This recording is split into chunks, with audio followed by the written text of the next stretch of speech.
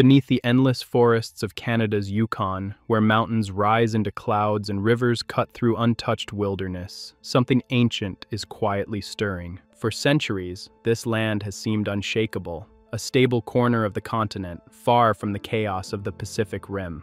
But deep below the surface, a hidden fault is grinding back to life. Scientists call it the Tintina Fault, and new research suggests it may be preparing to rupture in an earthquake so powerful it could rattle half of North America. The most unsettling part? It's been silent for 12,000 years. In geology, silence isn't peace, it's pressure. Recent studies now reveal scars in the landscape, ancient cracks, buried and forgotten, that only advanced satellites and laser drones could uncover. These scars tell a story of past destruction and a warning for what's still to come. Because when the Tintina finally breaks, it won't be a small tremor lost in the wilderness. It could be a magnitude 7.5 quake, the kind that reshapes mountains and swallows rivers. So why has no one heard of this fault before? And how did it stay hidden beneath one of the most remote regions on Earth for millennia? Let's pull back the forest floor and find out. The Tintina Fault stretches more than 600 miles beneath the surface of northwestern Canada, slicing through mountains, forests, and rivers from British Columbia to central Alaska. It's one of the longest hidden fault systems in North America, and until recently, almost no one realized it was still alive. To the untrained eye, the Yukon looks perfectly stable. No volcanoes, no deep valleys, no obvious cracks but beneath the moss and tundra lies a right lateral strike slip fault, meaning the crust on each side is slowly sliding past the other, millimeter by millimeter. It's the same type of fault as California's San Andreas, except colder, older, and far less understood. For decades, geologists believed Tintina was ancient history, a fossil from the time when North America was still forming. But new technology has changed everything. Using high-resolution satellite imagery and drone-mounted LiDAR, scientists have peeled back the wilderness like a map, revealing hidden fault scarps stretching for miles. They discovered faint ridges and displaced river channels, subtle, almost invisible signs that the land has torn itself apart before. And the most chilling revelation? Those scars are fresh enough to prove the fault is ruptured not once, but many times, and could do so again. In other words, what we thought was dead is only sleeping. Because the Tintina Fault isn't a relic of the past, it's a countdown clock buried beneath the heart of the North. For thousands of years, the Tintina Fault has been silent. No major quakes, no visible rifts, no signs of unrest.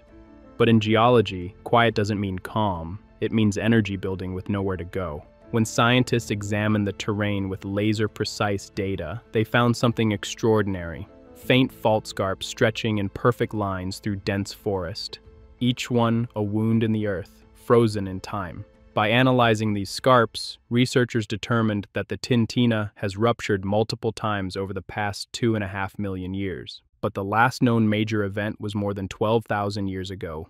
Since then, the fault has been slowly and steadily accumulating strain. At a glance, the movement seems harmless, less than one millimeter per year but multiply that by 12 millennia, and the pressure adds up to something colossal.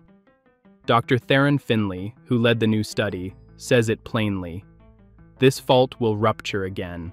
We just don't know when. And that's the part that keeps geologists awake at night.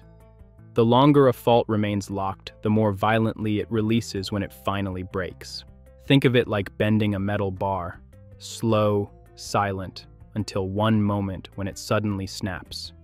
No one can say if that moment will come tomorrow, a century from now, or 10,000 years ahead. But the evidence is clear. The ground beneath Canada's north isn't finished moving. It's just waiting for the right spark. Earth's crust is never still. Even here, in the vast stillness of the Yukon, the ground is in motion, drifting just millimeters each year. But beneath that calm, the Tintina Fault is caught in a silent tug of war. It's what geologists call a right lateral strike slip fault, the same type as California's San Andreas. That means the land on either side is slowly grinding past itself, locked in place by friction, until the stress finally overcomes the rock's strength. When that happens, the release is instantaneous, a quake that can split rivers, drop valleys, and shift entire landscapes. For the Tintina, that energy has been building since the last ice age. GPS readings suggest it's accumulating strain at up to 0.8 millimeters per year, tiny on paper, massive over time. Every decade adds another fraction of tension to a system already under immense pressure, and because it sits in a colder, older section of Earth's crust, the rocks here are harder, meaning they don't bend easily, they break. When they do, the energy doesn't just shake the north, it ripples through the continental plate itself. That's why scientists warn that a Tintina rupture could be felt across thousands of miles, from Alaska's wilderness to Canada's interior towns. The last time a fault this size moved suddenly in North America, it shifted the coastline by several meters. So if the Tintina were to go next, the shockwaves could rewrite the map of the Yukon overnight. At first, it would seem like nothing. A low rumble, distant, deep, like a freight train buried underground. Then, within seconds, the ground would lurch. Buildings would sway, ice-covered lakes would ripple as if boiling. If the Tintina fault were to rupture today, the shaking could last nearly two minutes long enough to fracture highways, buckle pipelines, and trigger landslides across the Yukon and central Alaska. Towns like Dawson City and Whitehorse could experience severe ground motion, while remote infrastructure, bridges, rail lines, and transmission towers could crumble under the strain. But the danger wouldn't stop there. This isn't just a northern problem. The Tintina is tied into a massive web of faults stretching all the way to the Denali and Fairweather systems. When one fault breaks, it redistributes stress, sometimes thousands of kilometers away. That means a rupture here could ripple outward, raising the risk of secondary quakes across Alaska, Western Canada, and even parts of the Pacific coast. And there's another hidden danger, landslides. In mountainous terrain, Shaking like this could send entire slopes crashing into river valleys, damming waterways, and creating sudden flood risks downstream. Avalanches could bury roads, communication lines could vanish in minutes. For a sparsely populated region, the human toll might seem low, but the impact on power grids, transport routes, and even mining operations could be enormous. The economic shockwaves would travel just as far as the seismic ones, no one knows exactly what the next rupture will look like, only that when it comes, it won't be small. Today, the Tintina Fault sleeps under miles of forest, rivers, and ice. Silent, invisible, almost forgotten.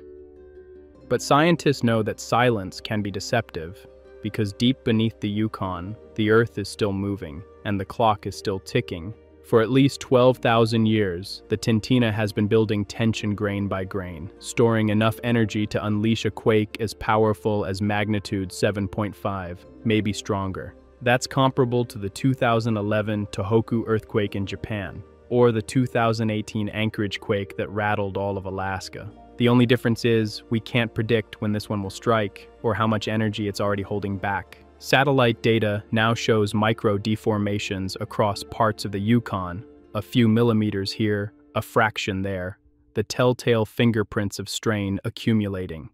And yet, unlike California or Japan, this region has no dense monitoring network, no public drills, and no early warning systems. If the Tintina moves again, it may catch the North completely off guard. But here's the paradox. It's also one of the best places on Earth to study how continents break. Geologists are now racing to map every scarp, every subtle bend in the landscape, using LiDAR and satellite radar to reconstruct the Tintina's violent history. Each crack tells a story of past ruptures, a glimpse into what the next one might bring. The more they learn, the more they realize this fault isn't dead. It's just waiting. When it finally ruptures, whether in 10 years or 10,000, it will reshape everything we thought we knew about North America's interior. It's a reminder that even in the quietest corners of the continent, the Earth is never truly at rest. So here's the question. Do you think North America's next big one will come from the Pacific coast or from deep within the heart of the continent itself? Let me know your thoughts in the comments. And if you want to keep exploring the hidden forces shaping our planet, Make sure to like this video, subscribe to the channel, and ring the bell, because the Earth's next move may already be underway.